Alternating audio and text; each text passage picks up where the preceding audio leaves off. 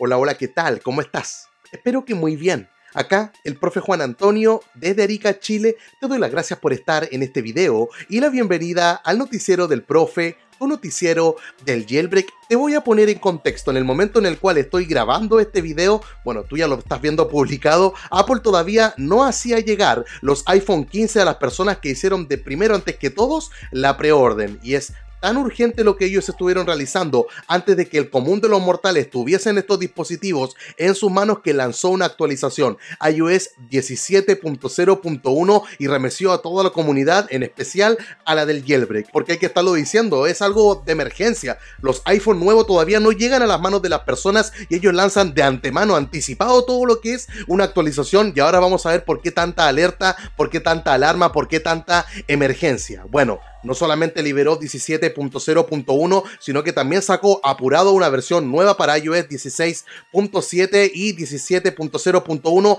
Ambas en términos de seguridad son idénticas, no traen ninguna mejora estética, efectos, animaciones, emojis, para nada. Las dos son iguales en términos de seguridad y es lo que te voy a compartir ahora, pero fíjate nada más las palabras que estuvo utilizando Yu. Él en su cuenta de Twitter dijo... Ah, ah, ah, una nueva cadena de exploits ha sido parcheada.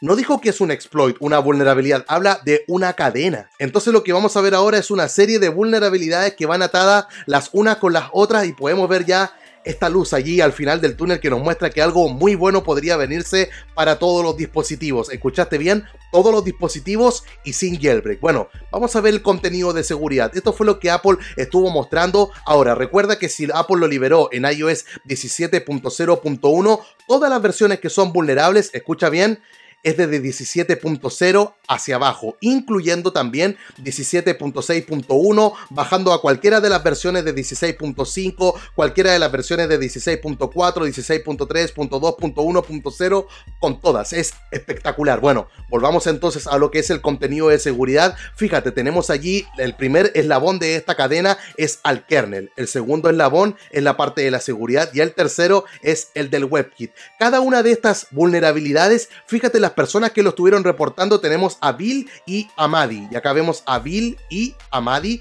Y si venimos al primero, el del kernel, tenemos a Bill y a Maddie. Entonces, son las mismas personas en cada una de estas vulnerabilidades. Veamos la primera aquí, la del kernel. Dice que cualquier atacante, hacker o persona puede estar elevando privilegios en el dispositivo allí en el kernel. Y luego dice que Apple ya es consciente respecto a todo lo que es esta vulnerabilidad. Por eso mismo estuvo liberando 16.7. Si vamos acá a la parte de la seguridad, dice que se puede estar instalando una aplicación maliciosa que puede realizar el bypass a la validación de las firmas que uno hace a las aplicaciones.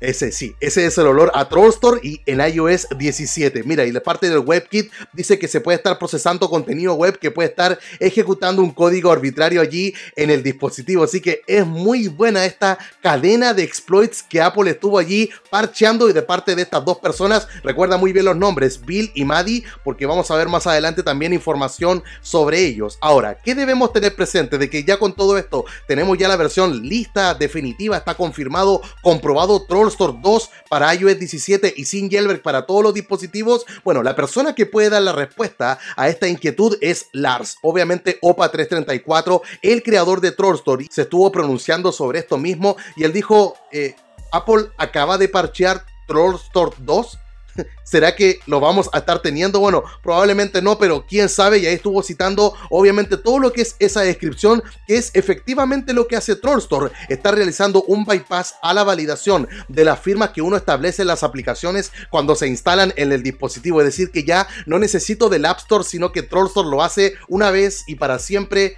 adiós Alstor, adiós Sidelotti, adiós certificado de desarrollador, adiós cualquier otro método porque se instalan una vez y quedan ahí activas para siempre. Ahora, otra cosa que estuvo añadiendo allí Lars es de que, bueno, lo que él recomienda es que se esté evitando obviamente estar instalando iOS 17.0.1 o 16.7 para que después no devuelvan a él llorando porque es, el famoso sin Yori, pero dicho por este líder del jailbreak. Entonces nos dice que este exploit es similar al del Core Trust, que es el que permite estar ejecutando Trollstore hasta iOS 15.4.1 y bueno, y con jailbreak en todas las versiones también también incluía las de iOS 17, pero la gracia es de lograr esto sin el jailbreak. Entonces, dice que todavía está por verse si realmente funciona tal como lo hace Trollstore de forma nativa sin jailbreak. Y luego añade al final de que él es escéptico con esta información hasta ahora. Es decir, ¿qué es lo que nos está diciendo? Que, que está bien pensar de que podría ser, nos podríamos ilusionar, pero no se puede confirmar al 100%, pero esta cadena es realmente sospechosa. La pregunta viene a ser, ¿cuándo esto va a ser liberado?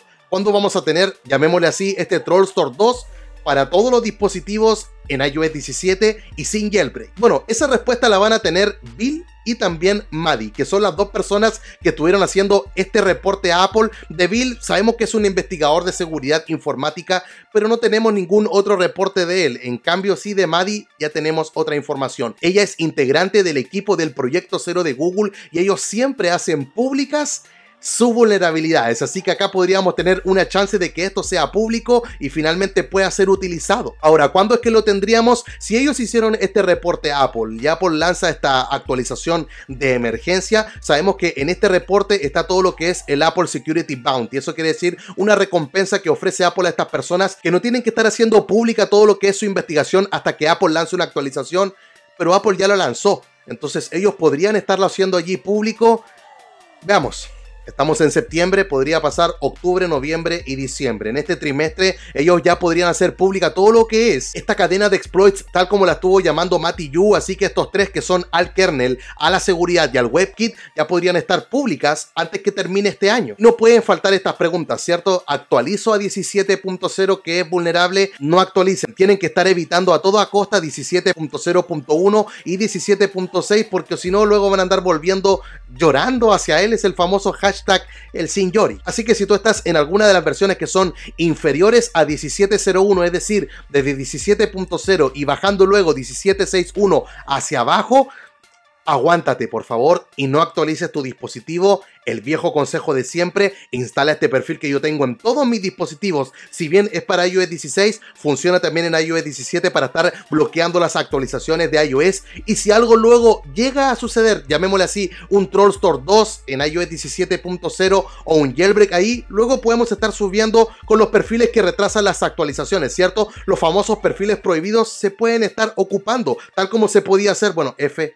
ya no se puede a 16.5, pero se puede hacer. Tendríamos tres meses más para estarlo consiguiendo, que coincide justamente con los tres meses donde Maddie y Bill podrían hacer libre esta cadena de exploits. Y si esta liberación llega a ocurrir, tú ya sabes que el tutorial te lo voy a estar compartiendo en este canal, al igual que con cualquier otra novedad relacionada con esto mismo, porque subo contenido relacionado con el jailbreak todas las semanas. Y eso sería todo por esta ocasión. Se despide ahora el profe Juan Antonio desde Arica, Chile. Te espero esta semana con otro video.